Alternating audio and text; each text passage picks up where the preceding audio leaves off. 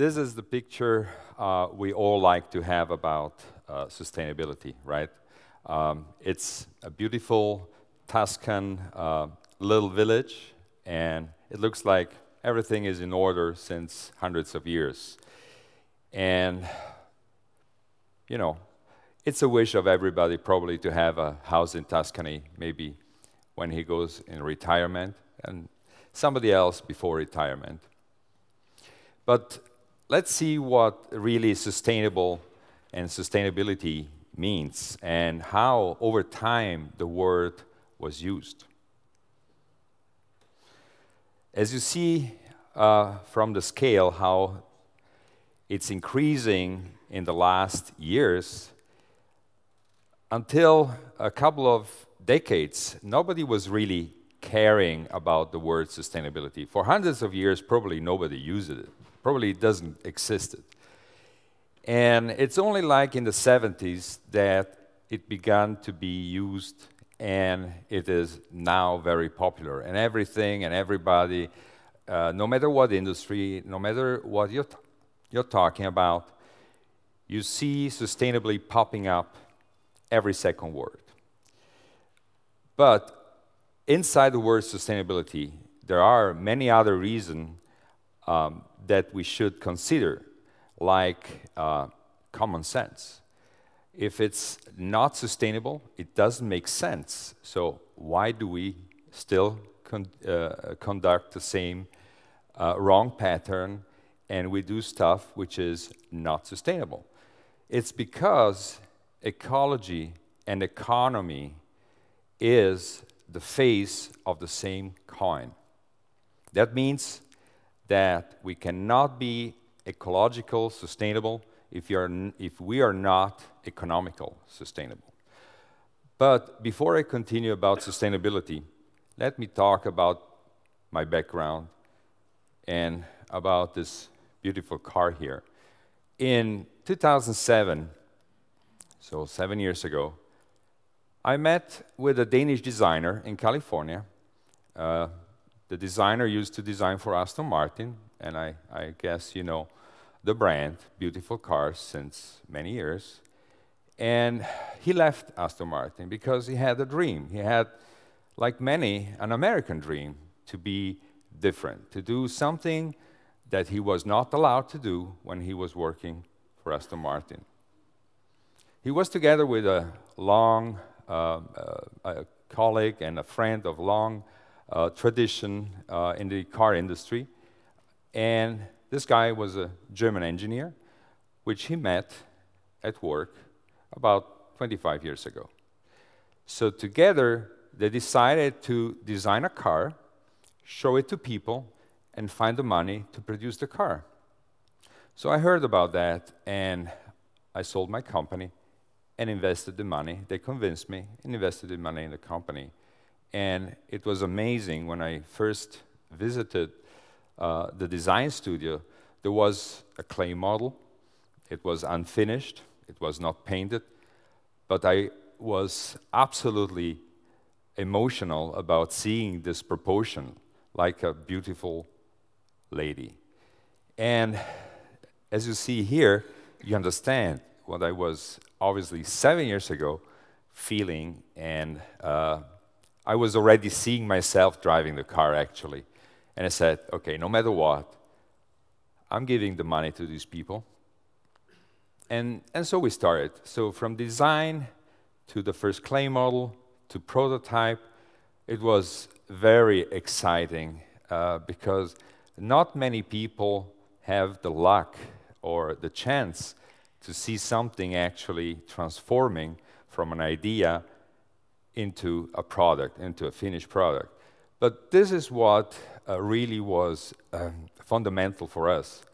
Uh, people from Europe that went to the United States with a dream. So it's almost like a joke, right? I mean, you know, a Danish guy, a German engineer, and an Italian investor.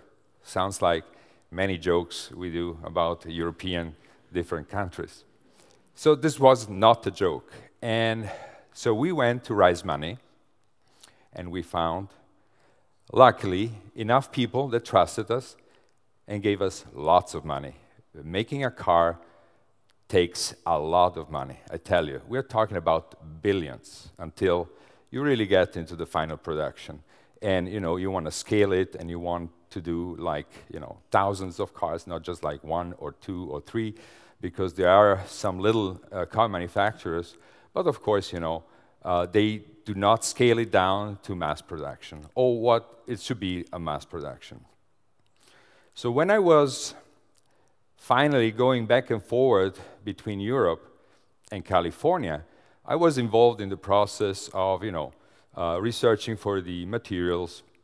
We wanted to do it sustainably. Uh, we wanted to use other materials, not, you know, avoiding plastic, so we decided to go with aluminum. Aluminum is very uh, cost intensive and also energy intensive, but you can recycle aluminum over and over again.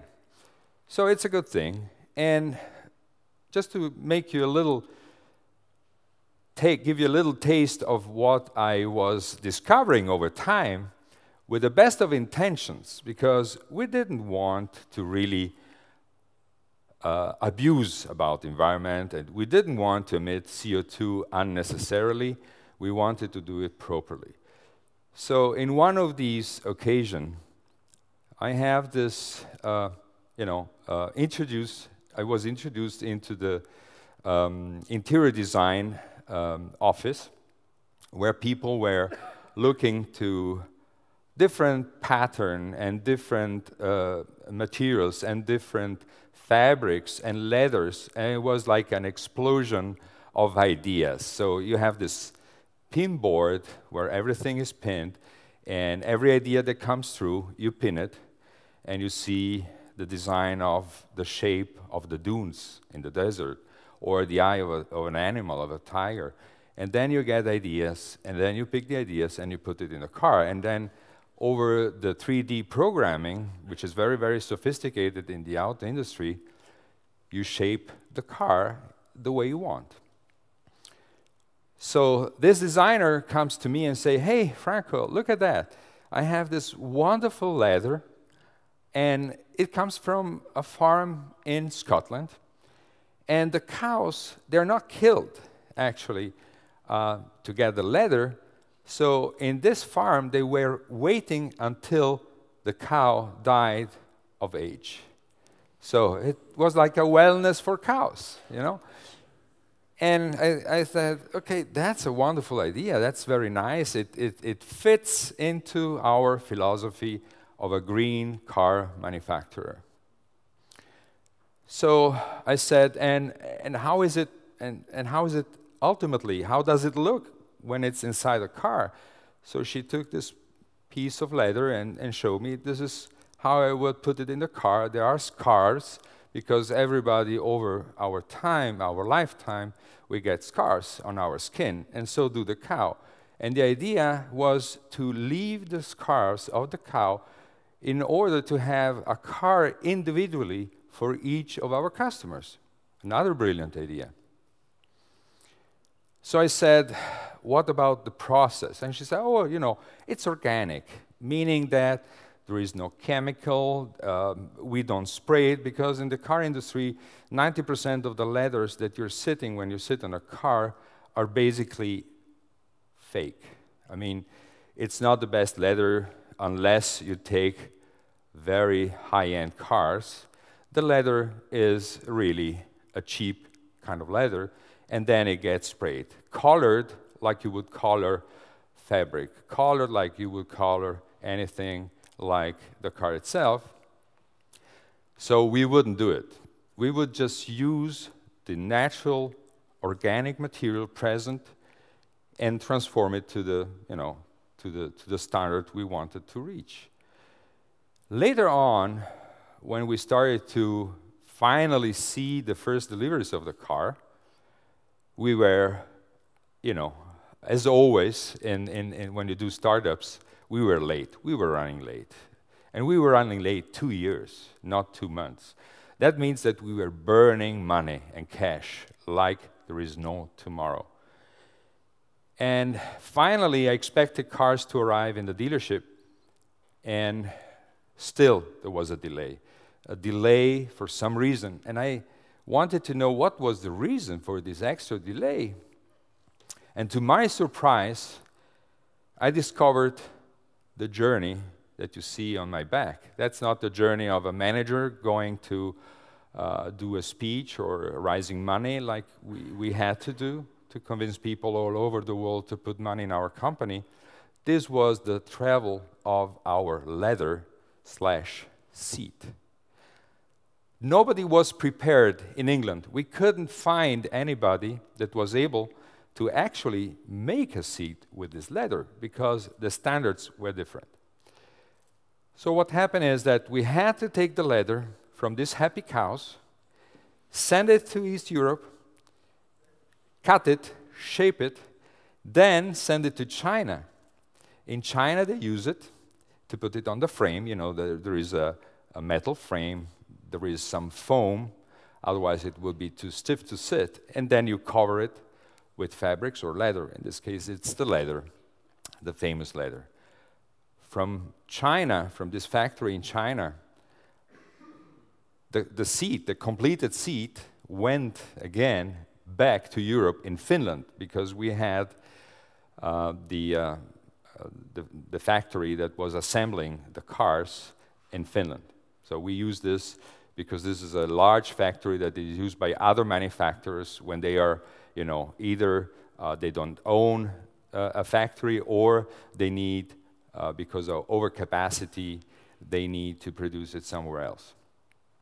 So you can imagine now that I was very surprised and also upset because we do everything to be sustainable. We want to have the right product, and then we find that this seat was burning CO2 like a power plant. So it wasn't a sustainable seat, even though the leather was sustainable. So this is the concepts we have today sometimes when we buy stuff and it has all sustainability um, kind of um, you know stamp, and we don't know the background because we don't know the story. And here, something else that we have to consider. Uh, when I turn on the TV, and I guess the same happens to you, what I hear from our politicians that lack leadership is growth. We have to grow. So we have a crisis. What do we have to do? Grow. Just grow. Uh, but, but, but, but how? You know, uh, if I don't have the money to spend, how can I grow?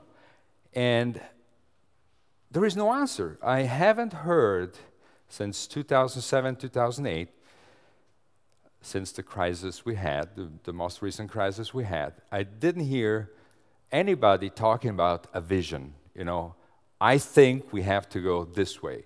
I haven't heard it, maybe you. So, what I think is that we have to move away from accounting our economy by the GDP. And why? Because the GDP, uh, I don't know how many of you know that if we have an earthquake, the GDP goes up. Did you know it? If we have a natural catastrophe that costs life, GDP goes up because we spent money to repair it. So it doesn't really make sense. Somebody else, very smart in Italy, came up with the idea to account the GDP the black money.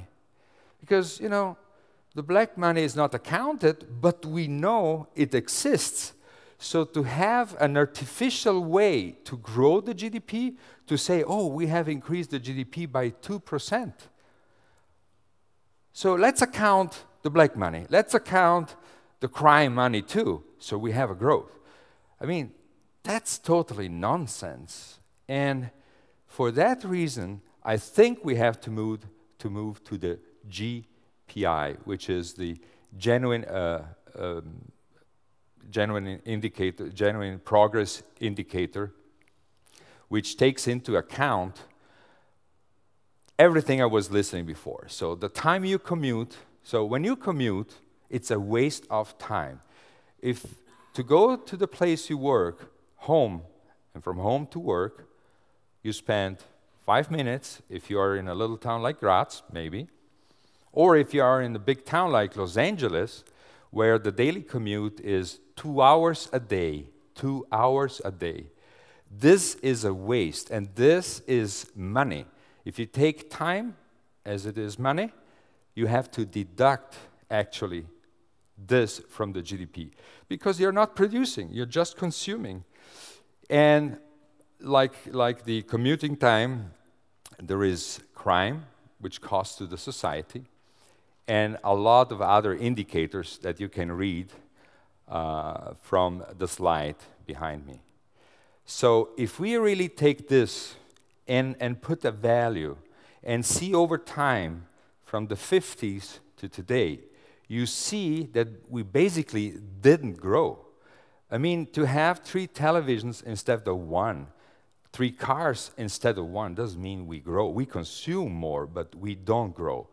So to use something that really accounts of the real growth, we have to rethink about how to account our growth. And of course, you know, uh, how do you want to change if you don't challenge yourself? There is no way we can have a change if we don't challenge. And it's for this reason that, of course, you will have a lot of naysayers, a lot of people that will say, oh, it's difficult. Oh, you know, I, I'm just alone. I'm a single man or I'm a single woman. I cannot change anything. well, at least we can change ourselves. At least we can start in thinking maybe I have to do something for myself. If I don't do it for the others, I want to do it for myself. And it's a challenge. Like a sport challenge, like if you decide at age 40 because you know you turned 40 today and you know you want to prove that you're still young and you say hey i'm training for the marathon. So you challenge yourself and you want to prove that even though you just turned 40 you're still in good shape. And here a little example.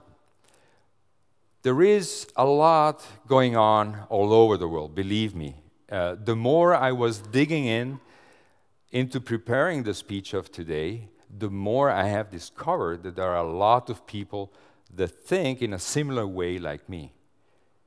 And what I have discovered doing all these researches is that at the MIT, uh, there are a group of scientists that um, are uh, looking to change the way we can store energy.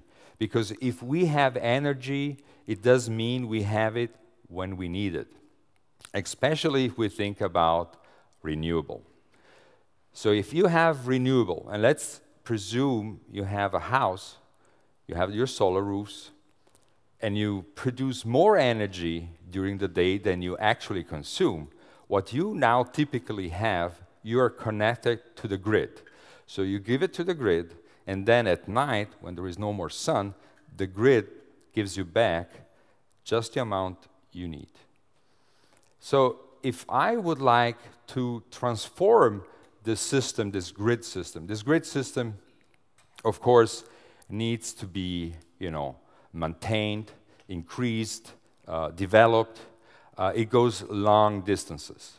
Uh, you have a country like Italy that decided not to go nuclear, right? But we take nuclear from France because we cannot produce energy enough for ourselves.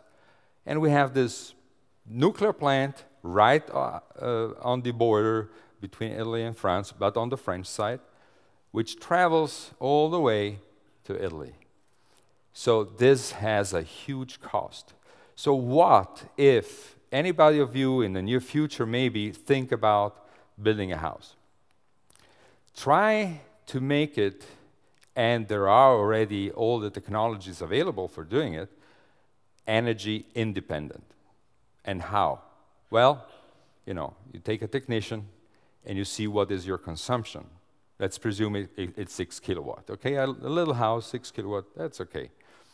You put up the panels, and then you produce the six kilowatt you need. But during the night, you would need again to be fed by the grid. But in your cellar, which you here in Styria typically have, you have wine, speck, maybe, right? Think about if you add another little room where you have a battery. So the energy that you overproduced, which you don't consume, goes into this battery. And this guy, uh, this professor um, in, in, in, at the MIT and his team find out that we can use actually soil. So what you have in your backyard, uh, you know, the earth, inside there are minerals. And of course, you can take then uh, extract copper or iron or whatever you find. It depends, of course, of the environment. So these researchers at the MIT find a way to extract these components to make a battery. In order to be able to produce batteries all over the world, not only you know, in America, and then you produce it there, you ship it to Europe, and then you ship it to Asia, and so on and so forth. But everybody can produce this battery. This battery, which is tested already several years, in laboratory tests showed that it actually is going to last 300 years. If you see the graph here, 300 years. The fading after 300 years is 80%, is 20%, sorry. So that means that the capacity of storage stays intact 80% for 300 years. And I think it's a fairly long time. So you see, there are already technology available today. And it's not going to happen overnight, but you can start with yourself. Another way to come up, come up with the, um, I see the time is over. okay, is to go into local community in producing, you know, there are uh, towns like uh, San Francisco and, uh, and other, many other town, towns uh, where are using actually the gardens uh, to produce, um, to produce vegetables. And what I think and I believe is that we have to be more local than actually global and think about how our strength was built up over time. Doesn't mean that we have to be provincial, but you know, we have to use the network of internet, etc., open source, and exchange all information. Okay, the last doesn't go. I would like to end with something that really care, um, or somebody actually that really cared about the environment was the real first environmentalist uh, already in the 40s when nobody was talking about it, and is Mahatma Gandhi. And he said, The world is big enough for everybody, but it will be always too small for somebody with greed. Thank you very much. Thank you. Thank you.